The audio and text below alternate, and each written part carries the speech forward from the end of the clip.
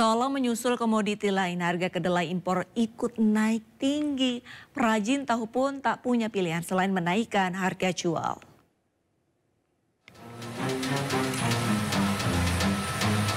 Perajin tahu di kota Bogor, Jawa Barat mengeluhkan kenaikan harga kedelai impor. Harga kedelai impor naik menjadi Rp13.500 per kilogram dari harga sebelumnya Rp11.500 per kilo.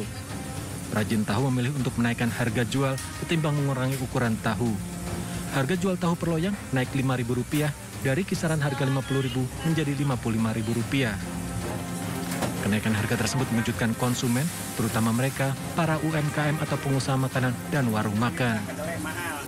Ya imbasnya kan sampai ke rakyat kecil karena mereka kayak kita jualannya kan gorengan begini mah akhirnya pembeli juga menurun, Pak ya otomatis mah pihak pemerintah mah harus turun tangan lah gitu atasin ini gitu. Menaikkan harga gitu. Jarang jarang jarang konsumen mau ditaikin harga. Ya sekarang konsumen dikecili di, dikurangi ukuran gitu. Paling dia mau ditaikin harga. Ya. seperti itu.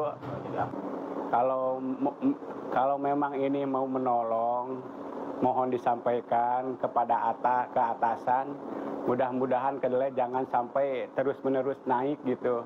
Kalau bisa standarkan aja lah harga gitu. Perajin tahu berharap kenaikan harga kedelai impor hanya berlaku sementara. Kenaikan harga tak membuat keuntungan bertambah, justru pendapatan mereka menurun karena jumlah pembelian berkurang. Perajin tahu berharap pemerintah segera turun tangan mengatasi kenaikan harga bahan baku kedelai impor ini. Dari Bogor, Jawa Barat, Andi Firmansyah, High News, melaporkan.